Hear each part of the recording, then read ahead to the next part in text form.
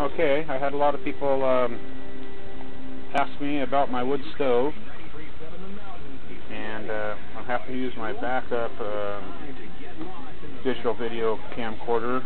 I don't have my big fancy $500 one out right now. It's uh, in the house and uh, my batteries are dead. But um, yes, I can cook on it, and I do quite often. And I got a little fire going in it today. That. And I can actually uh, fit some pretty good sized logs in it by uh, just open the whole top. And I can slide them in and uh, close this baby down. And, and when I stoke it up at night or on a real, real cold day, um, as you can see right now I'm just burning some millions, but uh, I can actually get some pretty good chunks of fir and larch in there, and uh, it'll burn for about four and a half, five hours without me having to get up out of bed and, and mess with it. And then, of course, I always have the furnace turned on a little lower temperature, so once the wood stove does go out, um, and it starts getting a little bit uh, chilly in here, I usually hear the furnace kick on. And if the furnace kicks on and wakes me up, what I'll usually do is uh, get up and sometimes stow another piece of wood on the fire.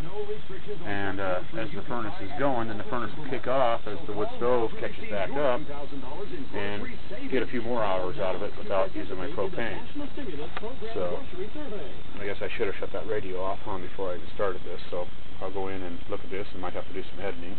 Um, the other little thing I love about my little trash burner is, as you saw, I had a fire going in there. I can literally put my hand right on the side of the stove, all the way up towards the top, and I can hold it there for eternity. Um, now, if I was to touch this black part here, that would probably burn me.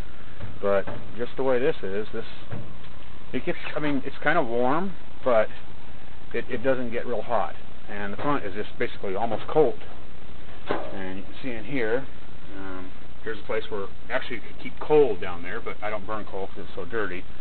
Um, in the wintertime, I will stock up and put wood there, and then right now, of course, this is kind of a mess over here, but I have been uh, working on some drawings to build a wood box um, right here in the bus. So, let's see And uh, I put a new door on, an RV door. I got rid of the skoolie door. That was a project, and uh, got a few more things to do. But uh, this is just a short little video, mostly about your fireplace. So, um, there you go.